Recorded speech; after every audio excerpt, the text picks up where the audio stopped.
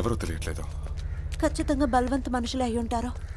నా చేతికి మాత్రం దొరికితే వాళ్ళ చావు దారుణంగా ఉంటుంది.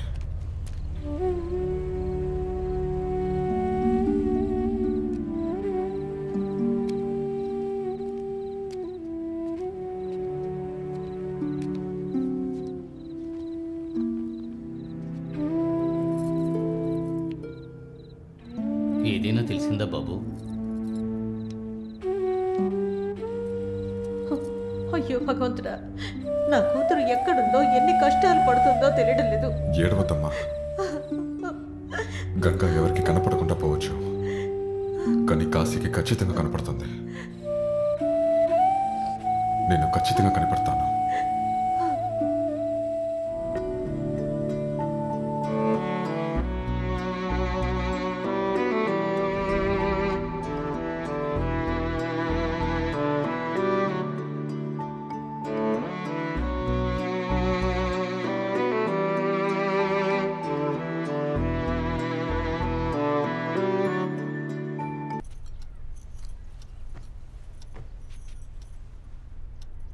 నిన్న రాత్రి మళ్ళీ గంగా ఫ్రెండ్ శృతితో మాట్లాడాను కాశీ.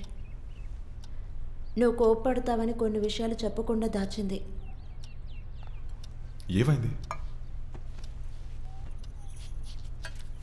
కాశీ అదేమిటంటే అభిమన్యు నాన్న వాళ్ళ ప్రేమని ఖచ్చితంగా అంగీకరించారు.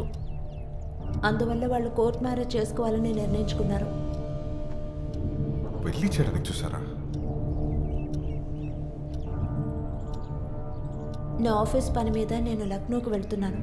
నేను రావడానికి ఖచ్చితంగా మిడ్ నైట్ అవుతుంది. నువ్వు కోర్టుకు వెళ్ళి దీని గురించి విచారణ చెయ్యి అది గనక నిజమే అయితే గంగని కనిపెట్టడానికి మనకు హెల్ప్ఫుల్గా ఉంటుంది కదా. సరే.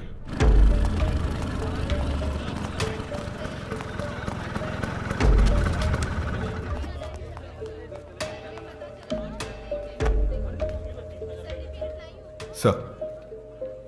పెళ్ళి జరిగే వాళ్ళది కొంచెం డీటెయిల్స్ కావాలి.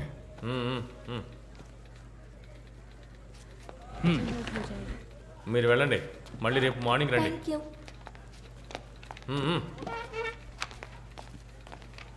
సార్ పెళ్ళి జరిగే వాళ్ళ గురించి కొంచెం డీటెయిల్స్ కావాలి. మీ వయసు ఎక్కువే ఉన్నట్టుంది. మరి ఆ అమ్మాయి వయసు ఎంత ఉంటుందేంటి సార్ ఇరవై వయసు అవుతుంది. నా చెల్లి గంగా. తనకి పెళ్ళైందా లేదా అని కొంచెం చూసి చెప్తారా? సరే సరే వెళ్ళండి వెళ్ళండి వెళ్ళండి త్వరగా ఇక్కడి నుంచి వెళ్ళండి వెళ్ళిపోండి సార్. నా చెల్లి మూడు రోజులుగా కనపడట్లేదు సార్ కొంచెం చూసి చెప్పండి సార్ కనపడకపోతే నన్నేం చేయమంటావు నేనేమైనా దాచిపెట్టానా కాన్ఫిడెన్షియల్ ఇన్ఫర్మేషన్ ఎవరికి చెప్పకూడదు బయలుదేరు బయలుదేరు బయలుదేరు ఇదిగో చూడండి నా చెల్లి కనపడట్లేదు నా చెల్లి కోసం ప్రాణాన్ని ఇస్తాను ప్రాణాన్ని తీస్తాను మరి అడగని అడిగిన ప్రశ్నకి సమాధానం ఇవ్వండి లేకపోతే అవన్నీ చెప్పడం కుదరదు వెళ్ళు ఆవిడ పేరేంటో చెప్పండి సార్ గంగా చౌదరి త్రిపురారి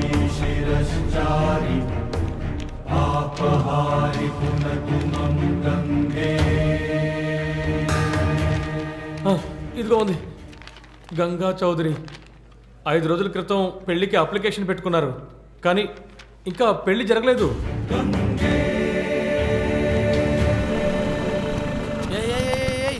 ఏయ్, ఆగు, ఆగు, ఆగు. ఎక్కడికి? ఎక్కడికి వెళ్తున్నావు నువ్వు? ఎక్కడికి? మీరు తిరిగి వచ్చారన్నా? ఎక్కడికన్నా? మీ యజమాని కలవాలి. వద్దన్నా. మీరు అనవసరంగా ప్రాబ్లం చేయొద్దన్నా. నా పని పోతుందన్నా. చెప్పేది వినండి అన్న.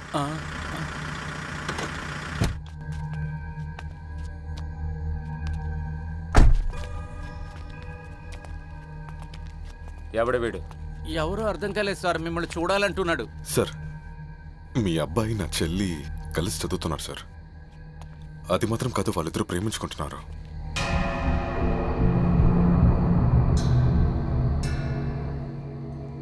నీ పేరేంటన్నావు? సార్ కాశీ. ఇలా చూడు కాశీ. నా కొడుకు ఒంట్లో పారుతున్నది నా రక్తం. అందువల్ల వాడు ఇలా దిక్కులేని అమ్మాయిని లవ్ చేయడు. ఏంటి మా మనుషులా కనపడలేదా మేము దిగి పని చేయకపోతే మీలాంటి మనుషులు స్వర్గానికి వెళ్ళలేరు నరకానికి వెళ్ళలేరు. బాగా మాట్లాడుతున్నావు నువ్వు. ఇదిగో చూడండి సార్ మీ దగ్గర నేను గొడవ పడడానికి ఇక్కడ రాలేదు. నా చెల్లి రెండు మూడు రోజులుగా కనపడట్లేదు సార్. మీ అబ్బాయి అభిమన్యుతో పాటు వెళ్ళి పెళ్ళి చేయడానికి ట్రై చేశారు సార్ వాళ్ళు. అభిమన్యుకి తెలుసు నా చెల్లి ఎక్కడ ఉందో అని. నా కొడుకు ఇప్పుడు లీవ్లో ఉన్నాడు. మసూరికి వెళ్ళాడు రావడానికి వారం అవుతుంది. వాడు రాగానే ఏంటి ఏదని అడిగి నేను చెప్తాను. సార్ ఇంటి పరిస్థితి అసలు బాలేదు సార్. ఒక వారం నేను తట్టుకోలేను సార్. నా చెల్లి ఎక్కడో తెలియాలి సార్. ఆఫ్టర్ ఆల్ నీకు నేను జవాబు చెప్పాలా? నీ అవసరం ఏంటో నాకు బాగా అర్థమైంది. నీ చెల్లి ఇంకో కుక్కతో ఊరు మీద పడి తిరుగుతోంది. ఆ నింద నా కొడుకు మీద వేద్దామని చూస్తున్నావా? ఏ బల్వన్! చాలా మంచోట్ల మాట్లాడద్దు నేను కొట్టిని తోడు వచ్చేస్తా. ఏయ్, నువ్వు ముందు ఏ, బయటికి వదలు. వెళ్ళు. ఆ, నేను ఇప్పుడు నదికి వెళ్తున్నా. రెండు పాడి రెడీగా పడతాను. నా చెల్లికి మాత్రం ఏదైనా జరిగితే అబ్బా కొడుకు ఇద్దరిని ప్రాణాలతో కాల్చేస్తాను. Eh, Baltanra.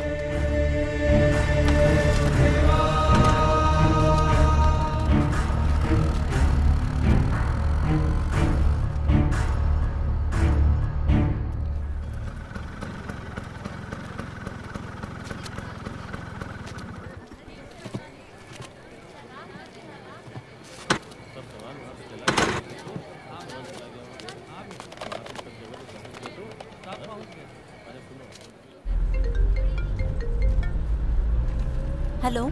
ఆ నేనే మాట్లాడుతున్నా. ఆ కాశీ. ఏదైనా న్యూస్ తెలిసిందా? తను పెళ్ళి చేసుకోవడానికి ట్రై చేసింది. ఆ అభిమన్యుతో. అయితే ఆలోగా మన అభిమన్యుని త్వరగా కనిపెట్టాలి. తన ఇంటికి వెళ్ళాను. తన నాన్న చాలా ఓవర్గా మాట్లాడాడు. కొంచెం కూడా మర్యాద ఇవ్వలేదు. మరి అభిమన్యు? ఏదో మసూరికి వెళ్ళినట్టు చెప్తున్నాడు. హాలిడేకి. అయితే గంగ తనతోనే ఉండుంటుంది. మనం మసూరికి వెళ్ళి చూద్దాం. సరే.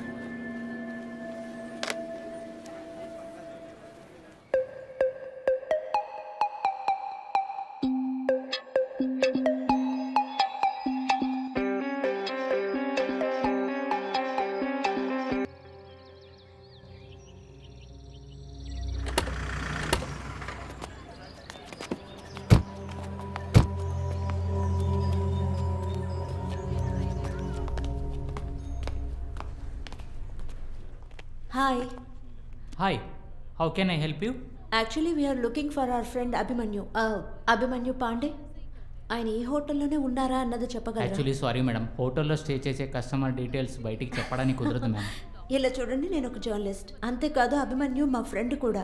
రేపు ఆయన బర్త్డే అందుకే ఆయనకి సర్ప్రైజ్ ఇద్దామని. Surprise yeah ma'am please few minutes wait చేయండి. Let me check the records